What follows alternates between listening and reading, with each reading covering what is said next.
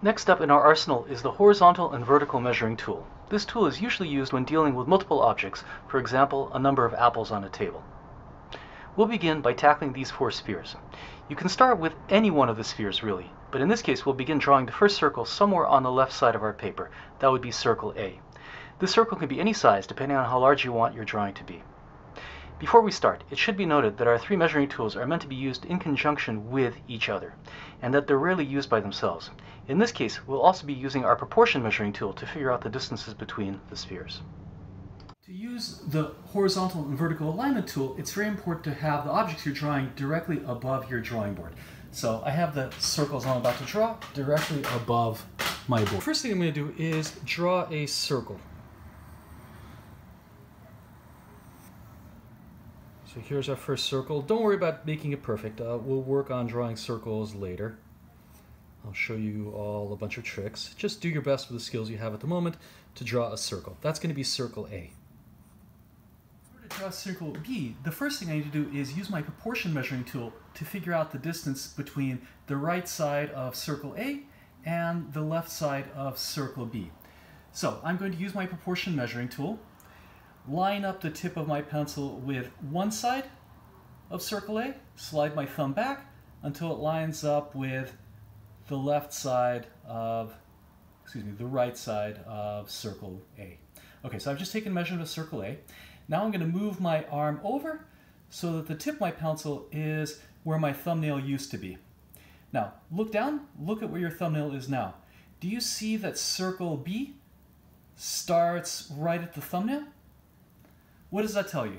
That tells you that the distance between circle A and circle B is exactly the length, the width of one circle.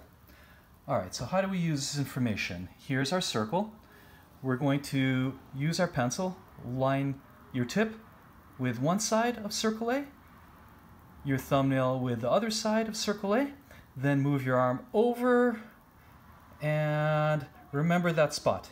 Remember that spot, mark it off. The distance here and the distance here should be the same. All right, so now we know exactly where circle B is going to start. Really lightly indicate a little line. That's going to help us place our circle. Now we're going to use the horizontal alignment tool to figure out how much further down circle B is relative to circle A. You're going to hold your pencil horizontal. This is the horizontal alignment tool. Line it up with the top of circle B. So my pencil is lined up with the top of circle B. You can use the top of the pencil or the bottom of the pencil, not terribly important. Notice that my pencil runs exactly halfway through circle A when I line it up with the top of circle B. What does that say? That tells me that circle B starts at the halfway point of circle A. So what I need to do is draw a line through the middle of circle A, like this. Extend it out, out, out, out, out. Now I know where the top of circle B is and where the left side of circle B is. Now all I need to do is take the distance of circle A at the halfway point and I can now mark off exactly where circle B needs to be. I'm going to indicate a little square like this. And now I can use that square to sketch in circle B. Sorry, I'm drawing through my phone right now, so my drawings are a little bit crude. Okay, so here is circle B. Now that we have circle B, let's deal with circle C. Once again, we're going to use the proportion measuring tool to figure out how much further away circle C is from circle B. I'm going to measure the distance between my two circles. So tip my pencil lines up with the right side of circle B, and my thumbnail lines up with the left side of circle C. This is a smaller increment. When you're doing the proportion measuring tool, always measure the smaller increment into the larger. So in this case, if I see the distance between these circles is shorter than the circle itself, I'm going to start off by first measuring the space between the circles and see how it relates to circle B. Notice that the distance between the circles is exactly half the width of the circle, maybe a little bit more. It looks like it's about half. All right, so what does that tell us? That tells us that if I find half the width of circle B and then carry it over and mark off the spot right here, so these two distances should be about the same, then circle C is going to start right about here along this line, like this. Now we're ready to use our horizontal alignment tool to figure out how much further up circle, circle C is relative to circle B. We're going to use our horizontal alignment tool in this case.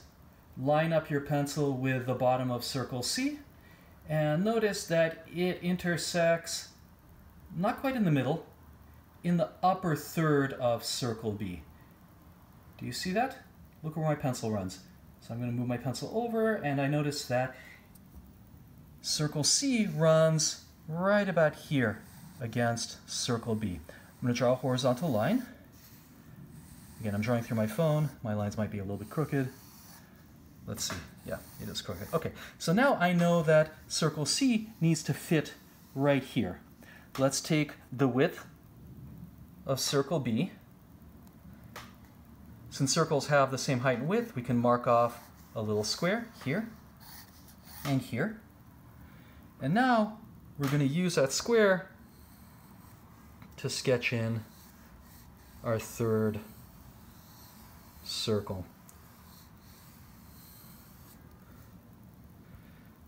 Circle C. Okay, now that we dealt with circle C, let's tackle circle D. Now that I have a number of things drawn, I have a number of different methods I can use to figure out the location of circle D. So I can use circle A to figure out where circle D is, or I can use circle C, it is possible. Um, which method you use is really up to you. I'm going to use circle B to figure out where circle D is. The first thing I'm going to do is figure out the distance between circle D and circle B. Now I'm going to use my proportion measuring tool, line up my pencil, in this case my pencil is vertical, tip my pencil goes to the top of circle B, thumbnail slides to the bottom, then I move up and I notice that the distance between circle B and circle D is about one circle. So let's use that. So I'm holding the camera with one phone, so I'm not able to use my other hand. Normally I'd use my hand calipers, but I can mark off that spot like that. So these two distances need to be the same, like so. Okay, so now I know that circle D sits somewhere along this horizontal line. Now I'm going to use, instead of a horizontal alignment tool, a vertical alignment tool to figure out how much further to the left circle D is from circle B. I'm going to hold my pencil vertical, line it up with the left side of circle B, and then I notice that my pencil runs a little bit off the right side of circle D. Just a little tiny bit. That's going to be where exactly? Well, right about here, like this. So now I'm going to draw a line going up, like that. And now I know that circle D is going to sit right about here. So now I'm going to take the width of any one of the circles, because all the circles are the same width. Carry it over. There's the width of circle D. We can use that to get the height. Here's the height. Draw a little square. And then use that little square to place your circle.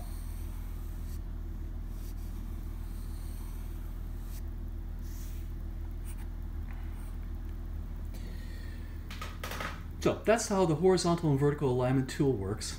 This tool is usually used in conjunction with your other tools. Uh, so in most of your drawing efforts, you're going to be using more than one measuring technique, using more than one object to measure against. And again, the more objects you have, this might seem counterintuitive, but the easier it is to draw the objects correctly because you start having access to way more different measuring methods. I can use an angle measuring tool, I can use a proportion measuring tool, or I can quite often use two, three methods at the same time to cross-check to make sure that my drawing is correct.